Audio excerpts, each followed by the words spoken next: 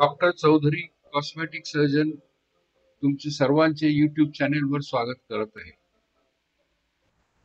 या पेशंटला road side ॲक्सिडेंटमध्ये चेहऱ्यावर असंख्य जखमा झाल्या व कालांतराने त्यांचे रूपांतर व्रणांमध्ये झाले.